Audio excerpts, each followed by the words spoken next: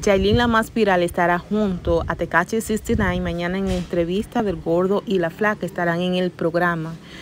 Eh, esperemos que le vaya bien porque realmente Yailin la más viral ha hecho muchos tollos, como se puede decir en buen dominicano. Esperemos que ella mejore y también se dé cuenta de quiénes están con ella, porque realmente está circulando un video íntimo, unas imágenes que se dice que fue Tecachi quien la traicionó y la publicó.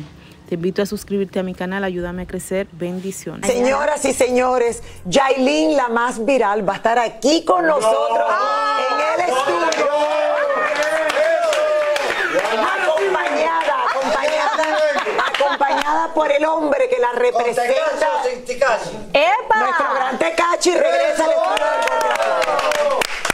Así que estamos felices con eso y tenemos muchísimo que preguntarle y muchísimo que hablar con ellos dos, porque de que han dado de qué hablar, han dado de qué hablar, Wow. mi gente. Wow. Así que Mañana está- va a estar- aquí lo estamos esperando como cosa buena. Y, y te tengo.